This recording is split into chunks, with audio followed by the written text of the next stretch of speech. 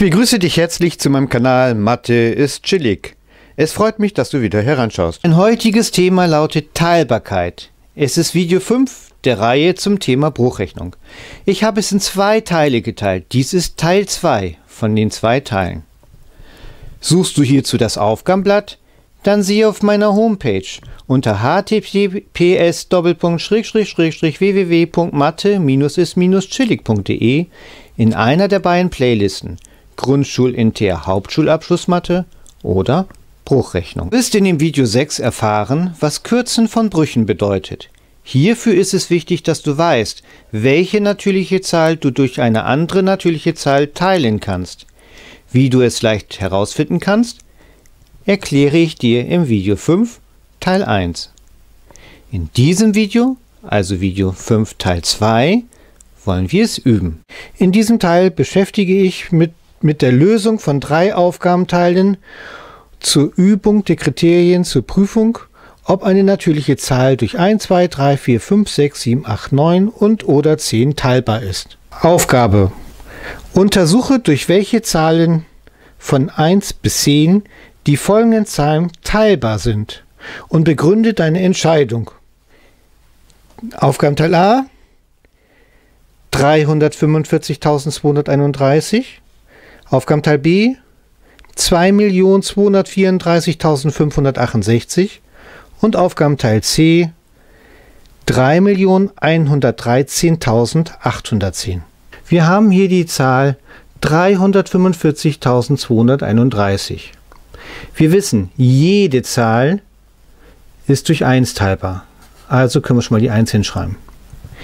Ist die Zahl auch durch 2 teilbar? Nein, es müsste hier hinten als letzte Ziffer oder Zahl auch genannt, eine 0, 2, 4, 6 oder 8 stehen. Es steht aber eine 1, also ist nicht durch 2 teilbar. Ist sie durch 3 teilbar? Ja, dafür müssen wir jetzt die Quersumme bilden. 3 plus 4 sind 7, plus 5 sind 12, plus 2 sind 14, plus 3 sind 17, plus 1 ist 18. 18 ist durch 3 teilbar, und zwar 18 geteilt durch 3 ist 6. Also ist die Zahl durch 3 teilbar. Ist die Zahl durch 4 teilbar, dafür müssen wir die letzten beiden Zahlen uns anschauen. Da steht dann eine 31. Aber 31 ist nicht durch 4 teilbar. Ist die Zahl durch 5 teilbar, dafür müsste die letzte Zahl hier, unsere Zahl, wo jetzt die 1 steht, eine 0 oder eine 5 stehen. Ist aber nicht so also ist sie auch nicht durch 5 teilbar.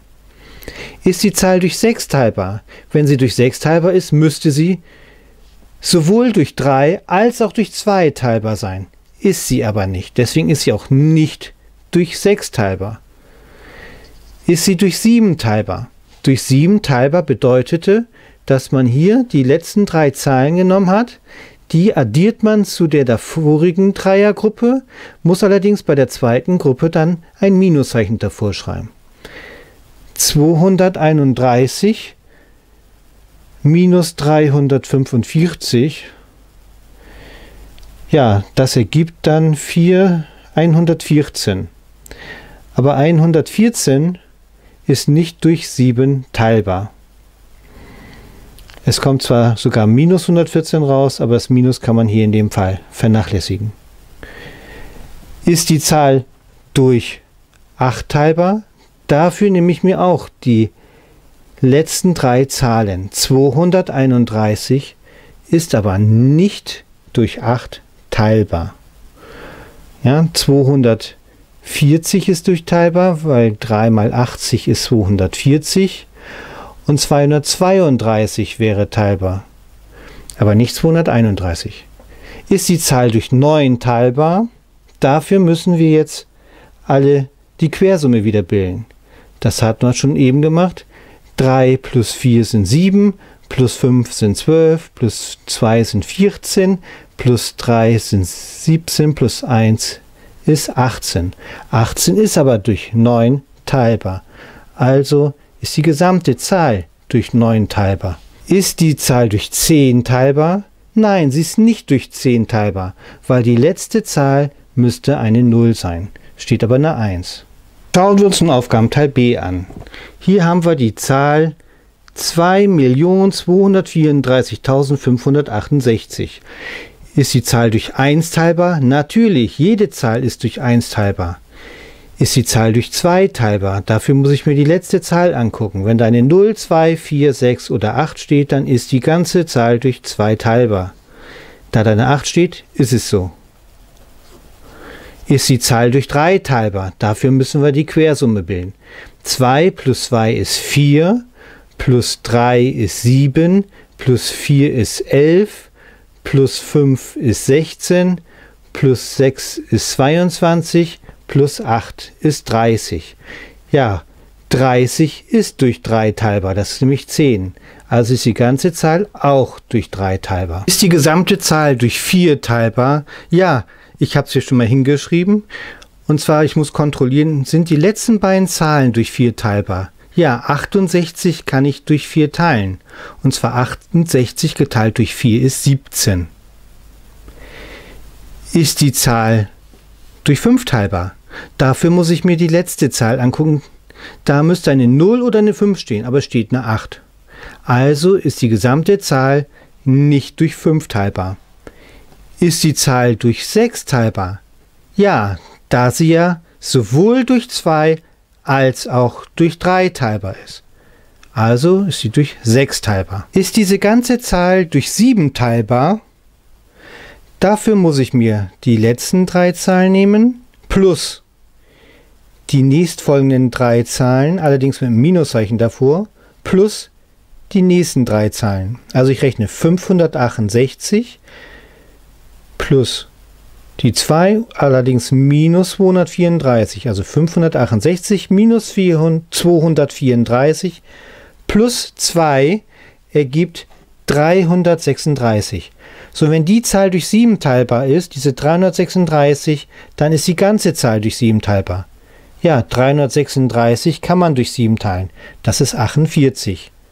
Also ist die ganze Zahl durch 7 teilbar. Ist die ganze Zahl durch 8 teilbar? Dafür gucke ich mir hier die letzte Dreiergruppe an. Das heißt, ich muss 568 durch 8 teilen. Ja, das geht. Das ist 71. Also ist die ganze Zahl durch 8 teilbar, weil 568 durch 8 teilbar ist. Also auch. Wir hatten vorhin ja schon für die 3 die Quersumme gebildet. Die war 30, aber 30 ist nicht durch 9 teilbar. Ja, und um zu prüfen, ob es durch 10 teilbar ist, muss ich mir ja die letzte Zahl angucken, die 8.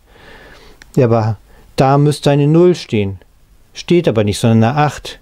Deswegen ist die gesamte Zahl auch nicht durch 10 teilbar. Kommen wir nun zum letzten Aufgabenteil. Wir haben die Zahl 3.113.810.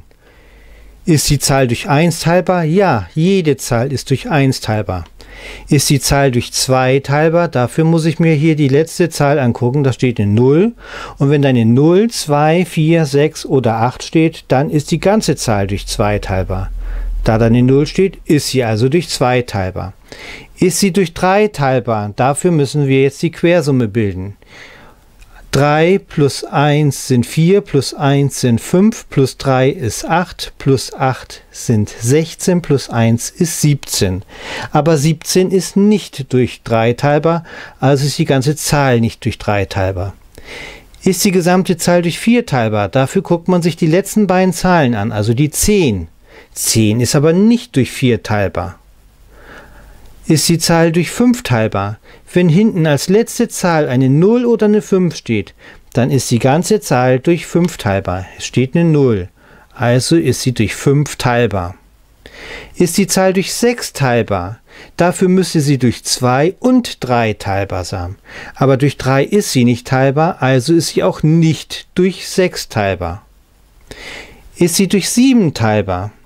Dafür muss ich mir die 810, diese Dreiergruppe nehmen, dann die zweite Dreiergruppe mit einem Minuszeichen davor und dann die dritte Dreiergruppe. 810 minus, 300, äh, minus 113. 810 minus 113 plus 3 ergibt 700. Ja, aber 700 ist durch 7 teilbar. Ist nämlich 100. Also ist die ganze Zahl durch 7 teilbar. Ist die Zahl durch 8 teilbar, dafür müsste die letzte Dreiergruppe, also 810, durch 8 teilbar sein.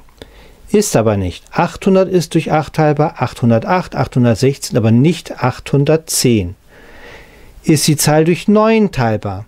Wir hatten ja eben gesehen, die Quersumme war 17. 17 ist aber nicht durch 9 teilbar. Also die ganze Zahl nicht durch 9 teilbar. Ist die gesamte Zahl durch 10 teilbar? Ja, weil die letzte Zahl, wenn da eine 0 steht, ist die ganze Zahl durch 10 teilbar. Dies war nun der Teil 2 von zwei Teilen des Videos zum Thema Teilbarkeit. Ich hoffe, es hat euch gefallen. Wenn ja, dann liked doch bitte das Video oder lasst ein Abo da. Bis zum nächsten Mal. Tschüss.